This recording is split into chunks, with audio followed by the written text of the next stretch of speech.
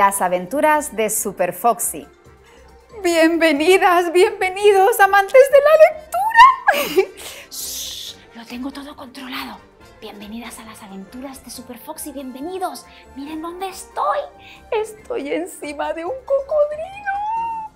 Esta Foxy mira dónde me mete, ¿eh? Shh. Bien, recuerdan que en el episodio anterior... Shh, tranquilo, tranquilo, tranquilo. No te muevas, no te muevas, no te muevas. Uy. ¿Recuerdan que en el episodio anterior Super Foxy se subió por primera vez en un barco y rescató a un delfín de las horripilantes garras de una red gigante? Pues la aventura de hoy es un poco más trepidante, me parece a mí. Sí, sí. Bueno, ¿qué les parece si vamos a ello? Porque yo tengo un poquito de miedo, no sé ustedes. ¡Ay, ay, ay, ay, ay! No te muevas, no te muevas, no te muevas. ¡Ah! Super Foxy presenta Super Foxy viaja por el tiempo. Un día Foxy fue con su buen amigo Joan a ver cocodrilos. A Foxy le encanta ir en el coche con Joan porque puede asomar el hocico por la ventana, con el cinturón de seguridad puesto, claro.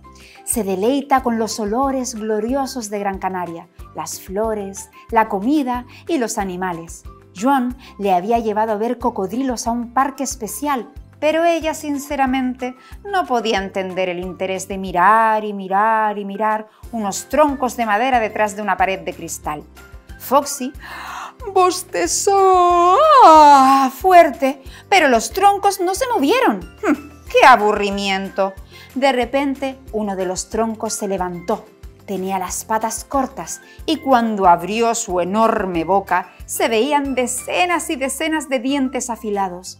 Los cocodrilos son extraños y aterradores, pensó Foxy, temblando como una hoja de árbol en una tormenta. Y pensar que todos esos troncos tienen esa boca, pueden tragarse a cualquiera de mis amigos. Burro, Adagorma, Natasha, Gabriela, Lagarto, Agapornis, ¡ah! hasta Joan y a mí. Estas bestias se podrían zampar cualquier cosa. Después de la impresión, Foxy necesitaba echarse una siestecita al sol. Desde que se durmió, apareció Super Foxy e inmediatamente le preguntó al cocodrilo más grande de dónde venía él y sus amigos.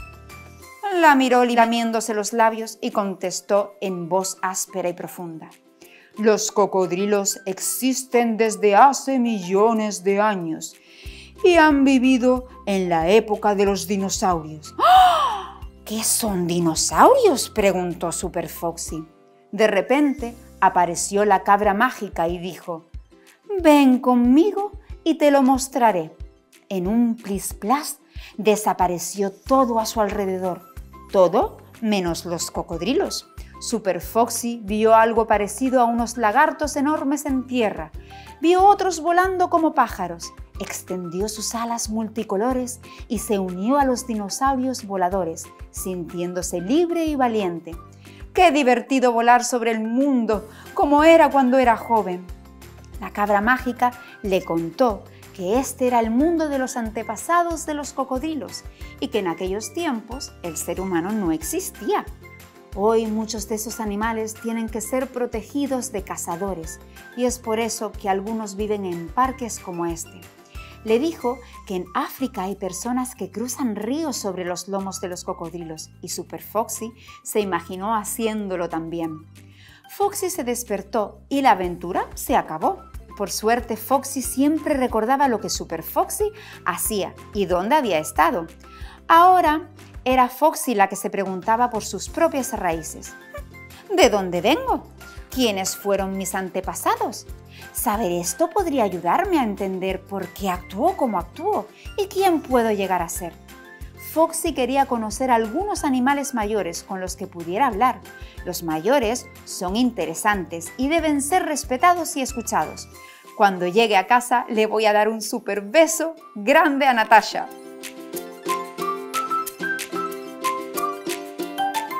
Las aventuras de Super Foxy todo lo que podemos aprender leyendo. ¿A que sí? Volar y volar y volar con los dinosaurios, pero qué divertido.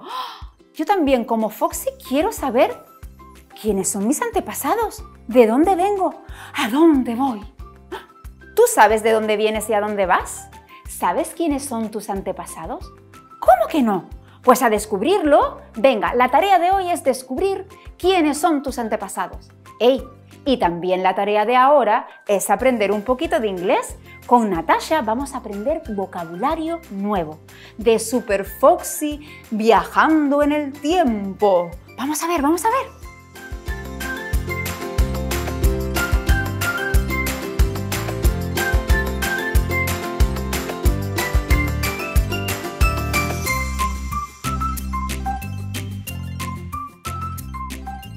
Hi kids, hola niños y niñas. Vamos a hablar ahora de cocodrilos. Crocodiles in English. ¿Ok? ¿Has visto el cuento? ¿Te gustó el cuento? Muy bien, a mí también. Pero, but, la verdad es que los cocodrilos dan miedo. Mira, estoy aquí y si, si caigo, ¿qué va a hacer? El cocodrilo me va a comer. So crocodiles are scary. Cocodrilo, crocodile. Crocodiles are, son, scary. Scary es da miedo. So, en inglés es un poco distinto. En español, lo cocodrilos da miedo. But in English, crocodiles are scary. ¿Tú sabes algo que es scary? Algo que te da miedo. Pues para mí el cocodrilo ese me da un poco miedo a mí. Crocodiles are scary. A ver si lo pueden decir ustedes en casa. Crocodiles are scary. Very good. Acuérdate dónde está la R. En español, cocodrilos pero en inglés, crocodiles. La R con la C. Crocodiles are scary. Good. Second phrase, déjame balancearme bien aquí. Uh, uh. Super Foxy rides a crocodile. Mira qué valiente Super Foxy. Super Foxy rides, se monta, rides a crocodile. Super Foxy rides, rides es montar. I ride in a car, monto en un coche. I ride on a bus, monto a la guagua. Okay? Super Foxy rides a crocodile. A ver si lo pueden repetir. Super Foxy, ya sabe que sabe decir Super Foxy. Super Foxy rides a crocodile. Excellent. Very good. Tercera frase. She, ella, she, what does she do? She flies. She flies with the dinosaurs. She flies, ella vuela,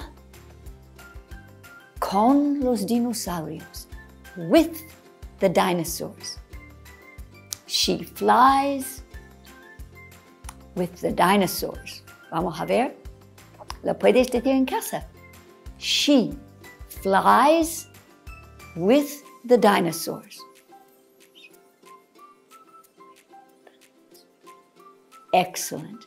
Very, very good. Ahora sabes tres frases más en inglés. A ver si lo puedo escuchar el cuento otra vez y ver cuándo estas frases salen. ¿De acuerdo? Ok, pues hasta la próxima aventura de Super Foxy. Bye bye.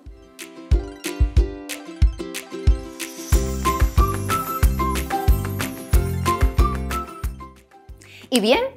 ¿Qué tal la superaventura del super inglés con la super Natasha? ¿Very good? Bueno, ya saben, tienen que seguir aprendiendo inglés, tienen que seguir leyendo, porque leer y aprender te abrirá las puertas del mundo entero. Recuerda, si quieres que leamos tus cuentos y que disfrutemos de tu imaginación, envíalo al rtvmogan.gmail.com. Estaremos encantadas y encantados de recibirles. ¿Sí? Bueno, queridas amigas, queridos amigos, amantes de la lectura, hasta la próxima aventura. Recuerda, leer te lleva al infinito y más allá. No le pongas límites a tu imaginación. Hasta la próxima. Bye, bye, bye.